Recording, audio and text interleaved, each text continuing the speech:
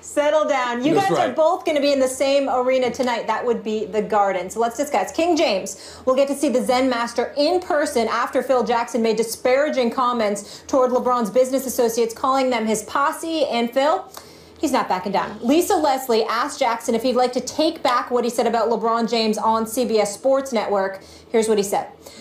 I violated one of those tenets of our thing. And the obvious thing is the word itself carries connotation. And I just don't understand that part of it, the word.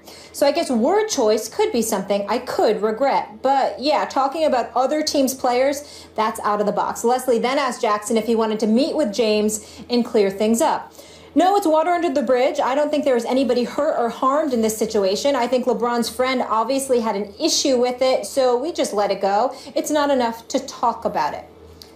Stephen A., you think LeBron should forgive Phil?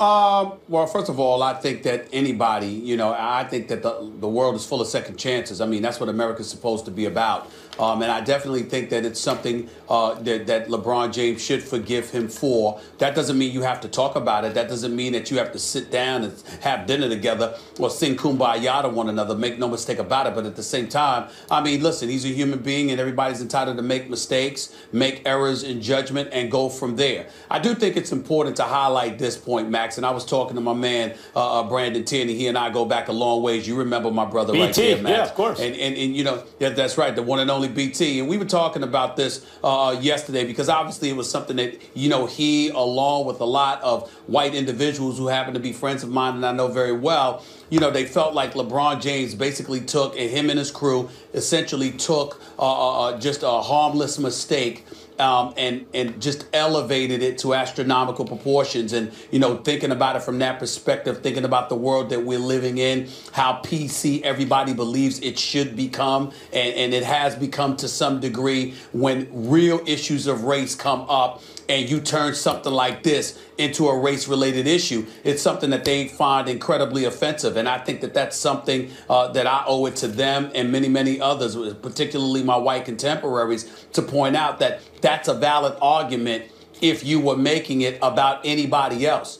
Uh, certainly, when it came to Phil Jackson, you're not making the argument that Phil Jackson is racist or in any way. Phil Jackson's history, his left liberal leaning, you know, mentality uh, to some degree, his actions throughout decades clearly show that there's nothing about racist or racism that should have anything to do with Phil Jackson.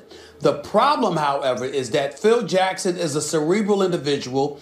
Uh, he's very, very slick with his word, words and his verbiage, and he usually knows what he's doing. So it's hard to believe that he made a mistake in saying what he said. Now, it doesn't have anything to do with race, but what it did, what it did have something to do with, with taking those individuals that are friends of LeBron James and not recognizing who they are and what they bring to the table as intelligent, young, accomplished individuals that LeBron assisted on a come up and basically reducing them to an entourage or a posse or anything like that. You're sort of quelling or diminishing or dissipating their level of accomplishment. And you're basically associating with them with street individuals who are where they are just because LeBron James is their Stephen friend. A. And that's why they took it the way that they took it. And that's not racist or racism, but at the same time, it's something that Phil Jackson should have known better than because he deals with enough African Americans. He understands enough about them to know how that would have been interpreted, and he was wrong to Well, Stephen so. A., as you were describing it, you said his crew.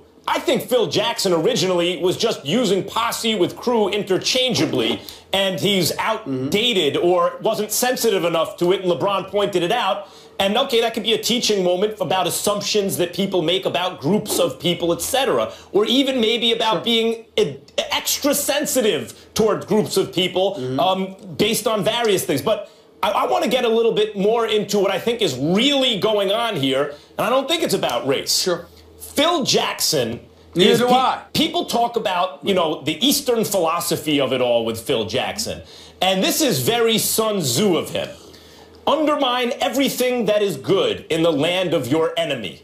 right? That's always been Phil Jackson. He tries to undermine everything that's good in the land of his enemy. So that in 2011, when he thought his Lakers might make it to the finals again, they've been to three straight, and he knew what the rising power was in Miami with LeBron James and the Heat and the Big Three.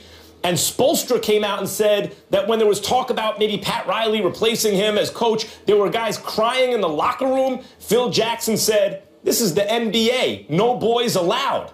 He was saying he was throwing shade at the team that he thought he would have to undermine. And who's that team now? If you're any team competing in the NBA, particularly in the East, that's LeBron James. Really, wherever LeBron James is, he was in Miami. Now it's Cleveland, the defending champions.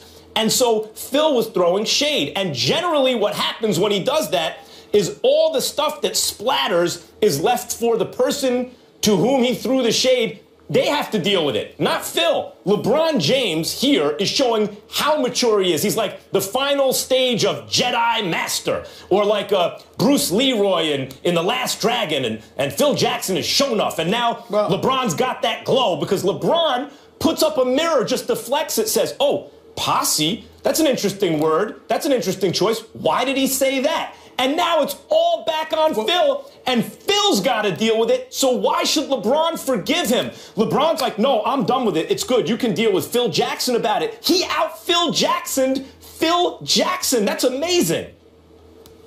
Yeah, but at the same time, I think that you, I, I, don't think you're looking at it correctly, if I may say so. I think there's a couple of things that you need to take into consideration. And let me put on my insider hat here, Max, mm-hmm. uh, just to just to be fair. Just to be fair, let's understand that Phil, with that little soliloquy with the posse word, implemented the whole thing about LeBron James supposedly, you know, the team, you know, not being ready to go and Erik Spoelstra calling Pat Riley and, you know, what is there to do here? Phil gave the impression that there was some inside information that he was letting out there about LeBron James essentially coming across as a prima donna and, and, and, and forcing Erik Spoelstra to take a position, bringing up Pat Riley, and then inserting his boys into the equation. And when you do that, coupled with what you were saying about LeBron, you're essentially giving the impression typical young dude in the NBA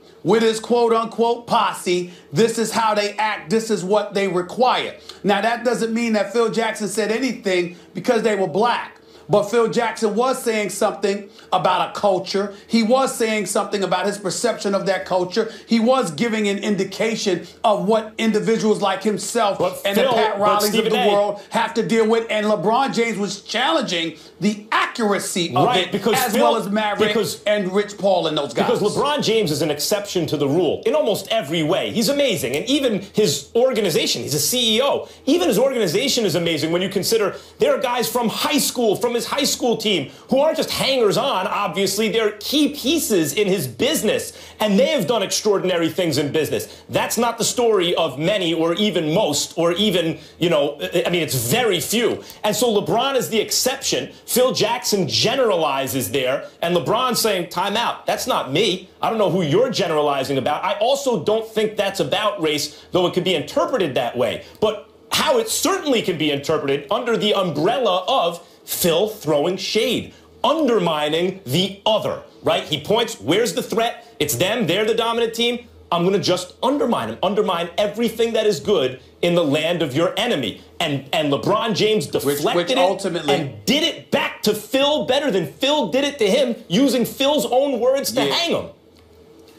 But I got news for you. You're not hurting Phil by bringing up race because everybody knows that racism and racists don't go with Phil Jackson. It doesn't match. You're actually letting him off the hook by bringing up race because that's not what Phil is associated You're still talking with. When you get into Phil's intent, yeah, yeah, but when you get into Phil as his intent and his agenda, which both you and I just articulated, now you're getting to the nuts and bolts of it. But racism and Phil Jackson, please. But he's got to deal with it. LeBron's washed his hands. Now Phil's got to answer the questions. It's he always the other to. way. He doesn't have to do it.